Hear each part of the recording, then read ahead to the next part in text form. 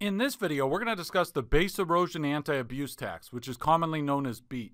So BEAT was introduced by the Tax Cuts and Jobs Act of 2017, and the goal of BEAT was to prevent large U.S. corporations from shifting their profits overseas to countries that have lower income tax rates than the United States. And so BEAT is an alternative tax computation. It does not apply to all companies. It just applies to C corporations that have annual gross receipts of at least $500 million over the previous three years. Okay, so if that's the case, then BEAT might apply. Now, that's not the only requirement. Also, for BEAT to apply, the C corporation has to have excessive deductible payments that are made to non US related parties. That's a mouthful, so let's break this down. First of all, non US related parties means at least 25% ownership. And so it could be, for example, you, there's a company in Ireland Okay, and the U.S. company owns at least 25% of the stock of that Irish company.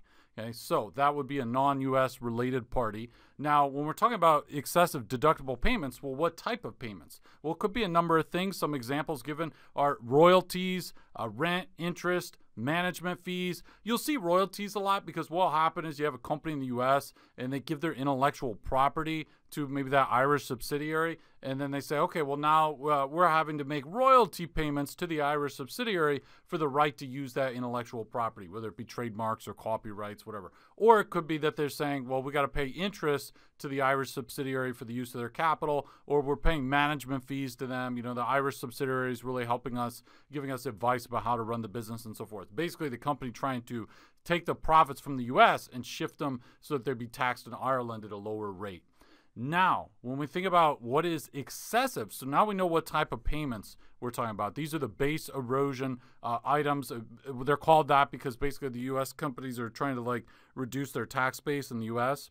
Now, what is excessive? Like how much interest paid to that Irish subsidiary is excessive? Well, more than three percent of deductible payments. So basically, if the if the U.S. corporation had hundred million dollars in total deductible payments, and more than 3% of it was like royalties, interest, management fees, something like that, then we'd say, okay, now we potentially have this alternative tax computation.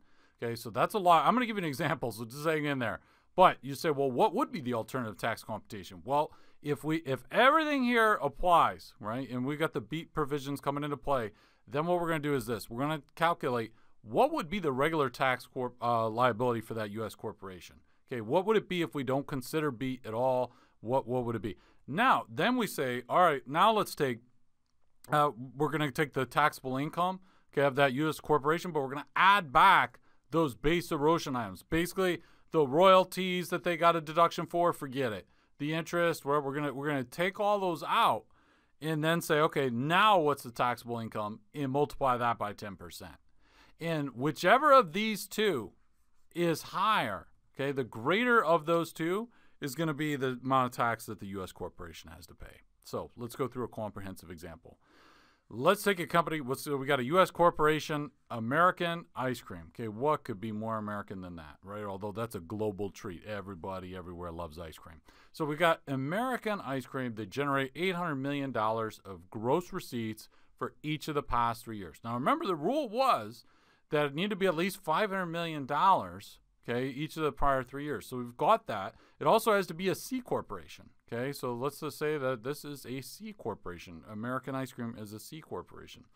Now, remember another one of the requirements was this 3% of deductible payments, more than 3% being like royalties, management fees, something like that. Okay? So let's say that in the past year, so we're just going to look at the past year now, they had 800 million in gross receipts, but they had 600 million of deductible expenses. Okay, $600 million of deductible payments. And uh, specifically, I should say here, payments, just to be consistent with the tax code. So we have 600 million of deductible payments, and that includes uh, a 150 million dollar management fee uh, paid to an Irish subsidiary. Okay, let's say the company owns 100 percent of this company in Ireland and they're paying them a management fee. Now, let's just say that this 150 million management fee, there, there's no other, there's no royalties, there's no interest. Like the other 450 million dollars of expenses are just normal expenses. Okay, so really this is the only base erosion item. So we say, okay, well, is this at least 3% of the deductible payments? That 150 million. Well, there's 600 million 150. So that 150 divided by 600, okay, that's 0.25 or 25%. So yes, it's it's it's more than 3%. Okay, so now because we've met all the requirements, we got a C corp, we got more than 500 million dollars of gross receipts the prior 3 years. We've got uh, more than 3% of the deductible payments uh, are basically these base erosion items because we got this management fee. We say, ah, that's kind of sketchy paying this management fee. Maybe you're just trying to get that income to a country that has a lower tax rate. So now we're going to do the alternative tax computation. First, we got to calculate the regular tax, okay? And so we say, okay, well, they had 800 million in gross receipts, 600 million in uh, deductible expenses here, okay, deductible payments. So we have 200 million of taxable income as of the time I'm making this video, the corporate income tax rate in the US is 21%. So 21% times 200 million, we have a $42 million of federal income tax due.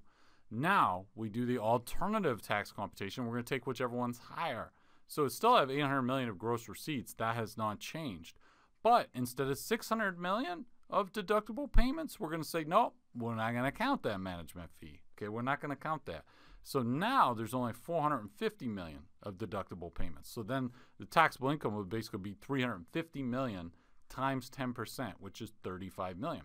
Now notice in this example, okay, in this example that I made up here, the regular tax is actually higher. 42 million. So you are not going in this example the the US company would not pay the alternative tax because actually the alternative tax is lower.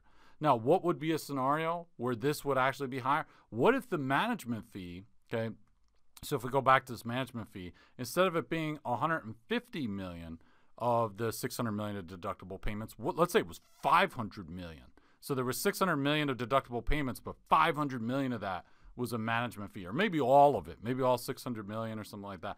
Then in that case, if you go and do the computation, you'd see that the BEAT would actually be higher than the regular tax. And in that case, then the BEAT would be the amount of tax that applies. But it's always going to be the higher. You calculate each of these two, and you take the higher one, which in this case would be the regular tax. This 42 million would be the amount of tax, federal income tax, due uh, by the U.S. corporation.